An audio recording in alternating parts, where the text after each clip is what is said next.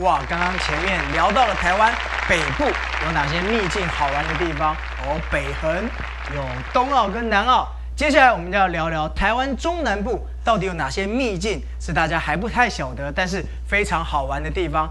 当然，出外旅行有很多须知，要请大家多多注意了哈。所以这里阿里布达小甜心非常贴心的要提醒大家，好，现在我们就请小甜心文文来提醒大家几点外出旅行的注意事项。嗯，在此要为大家提醒一下呢，哦，我们第一点是出发前熟悉旅行的路线跟情况，最好跟朋友一起前往哦。嗯单人的话有很多地方不方便，那出外要小心安全。是，所以大家要组团，而且要了解旅行的路对，线，对不要单，人前行。很危险。对，那第二点呢，出发前熟悉旅行，哎，注意当地天气变化，提前取得旅游的目的地，然后它的气候呢资料。资料哦，对就像我们刚刚说的原住民啊，一定要听收音机广播，是不是？而且呢，要记得要带轻便然后保暖的衣服。嗯，那随身要带保暖的外套哦，还有有那个折叠伞、雨伞哦，然后雨衣。哎，这个猪脚哥，你们外出旅行都会注意这些东西吗？会你的秘密武器是什么？如果下雨的话，下雨的话呢，就是要带雨衣，对，要带雨衣。对对对哦那费你呢？我的秘密就是下雨的话就躺在民宿睡觉。不要出门啦！好哦，其实我还是比较，就是劝大家是带雨衣比较方便，因为雨伞的话风大可能会开花。对。好。接下来这一点是啊，我们春天的话雨水比较多，那穿鞋子尽量用防水的为宜。呃，现在有流行那种流行的那种雨靴啊，哦，对，那种鞋子就是时尚好看，而且又防水。哇塞，那个不便宜吧？呃，一双其实都还 OK 啦，就一千出左右。一千出头。所以出外旅行真的这也很重要了。对穿鞋要防水。好，接下来这一点，那注意要携带必要的食品哦，以防你肚子半路 就是肚子会饿啊。是然后饮料还有水，尤其是水是最重要的。那尽量期待要轻便为主，不要随便采食，不然的话小心会中毒事故发猪脚哥，你们去野外的时候会分辨哪些东西可以吃这些？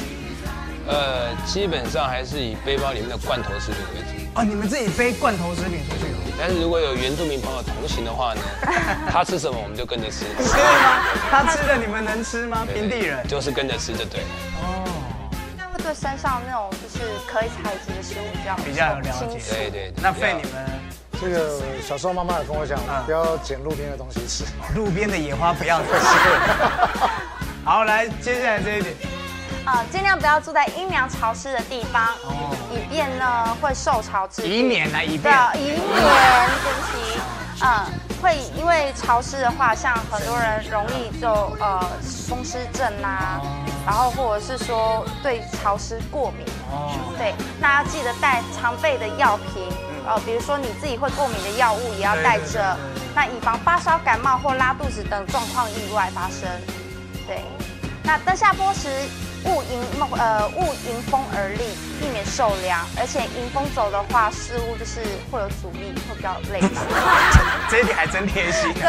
那猪脚哥，你们下山应该都很喜欢风吹哇那种这种开放的感觉。因为我们一般在如果在登山的话，你你如果走的话，一般我们的衣服都穿排汗的衣服。对，可是如果说你有身体是潮湿的话，其实吹风是很容易着凉。哇，很容易失温。而且会对撒丢就跟打过打球完全身潮湿，然后又吹冷气是一样的道理。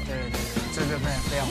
保暖很重要。哦，这一点费你就要注意了啊、刚刚在那个洞口做这件事，对，如果是在外呃外野呢，野外这样子，外野是野外球，野内外吹卡野？哦，在外野对吹烧烤。对，野炊烧烤要注意风向，不要随便丢弃火种。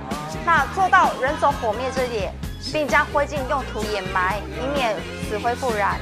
那引起火灾的话，真的很不好，因死为灰复燃很糟糕啊。对，有些感情死灰复燃也好这样对，而且也不要乱丢烟蒂啊。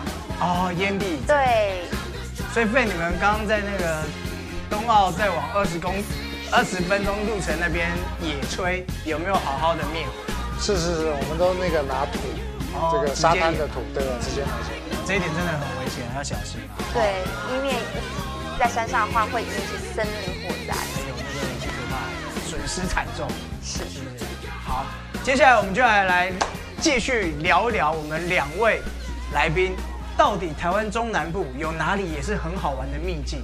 哦，猪脚哥，你们中南部应该是很熟吧？你常常往外跑。对，东部，东部啊，对对你接下来要介绍的是东部的地方。东部，对对对，这一瓶是什么秘密武器吗？这个就是呃原住民一体的这个威尔刚，对，一体的威尔刚，哎，这里面是什么啊？好像是耶，这个一只一只的是什么？哦蜂蜂蛹吗？虎头蜂，虎头蜂，这是虎头蜂酒。虎头蜂酒，哦，这个由来是什么？看里面有一只一只的，还有翅膀。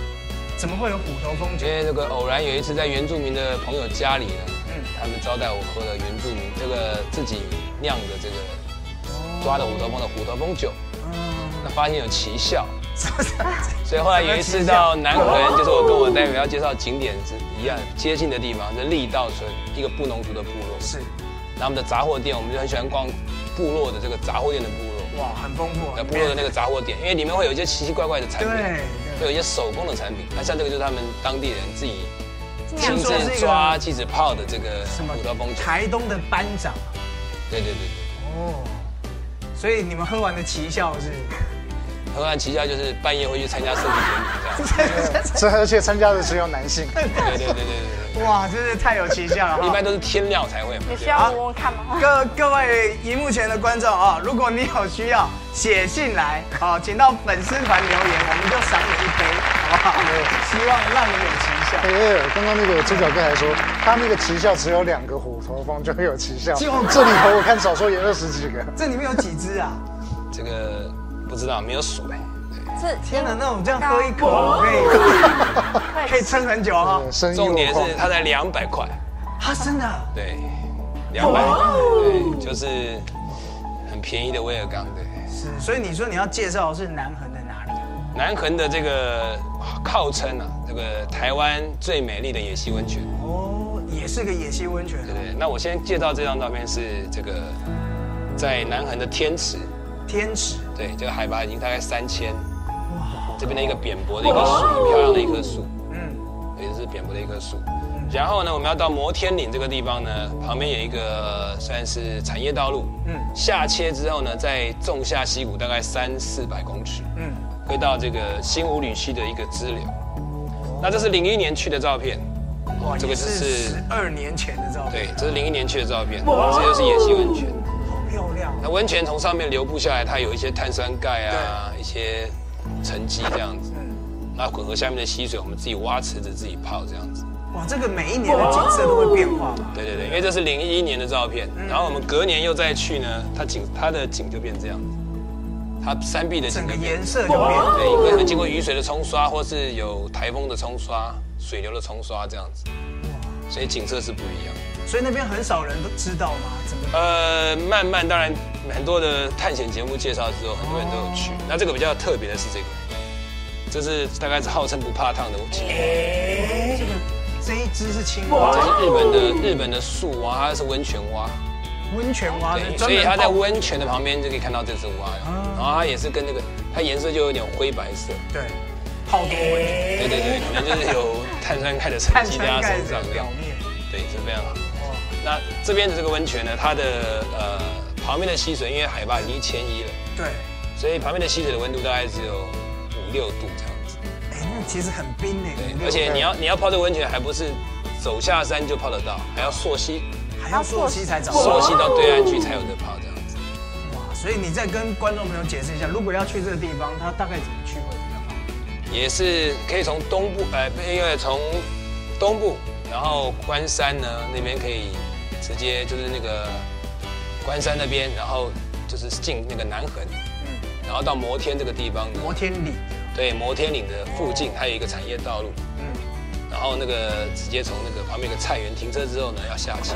菜园停车，对对对对对对对。下去之后要走多久啊？对，下去下去的话，大概一个小时。一个小时还要再走一个小时。对，就是下也是下切溪谷一个小时。哇，所以其实你要泡这种野溪温泉，真的要很辛苦哎，对，要到处找啊，登山的翻山越岭，对对，但是值得嘛，值得。很值得。对对对对对每一年的景色又会有不一样的变化，对对对。太棒了。好，所以费，你接下来要为我们介绍的是接受，接下来介绍的是呃，从台湾任何一个主要城市去，大概都要三四个小时吧。